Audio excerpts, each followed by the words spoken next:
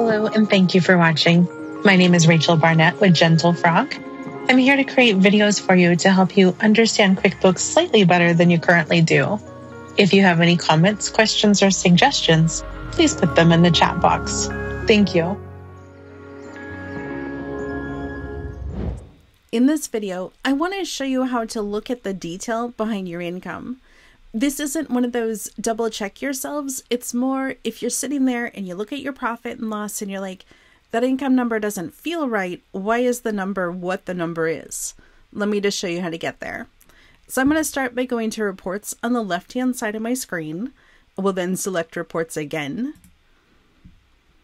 I'm going to select profit and loss. I just click on the name. I don't click on the three dots on the right. I'm going to scroll up and select the date range that I have in mind. So in this case, I'm just going to look at last year. I notice my accounting method is accrual. If you don't want to look at the report on an accrual method, you can change it to cash and then select Run Report. I want to look at my total income. I want to know why my total is what it is. In order to do this, I'm going to click on the bold number, which represents total income. I'm not selecting my individual incomes. Click on the bold number. This is going to show me a list of everything that's happening behind the scenes. All of these numbers add together to represent my total income. If I feel uncertain about it or if I want to look at it and make notes, I can click on this little piece of paper with an arrow flying out of it and that'll export it to Excel. I sometimes do that if I want to highlight things or review it.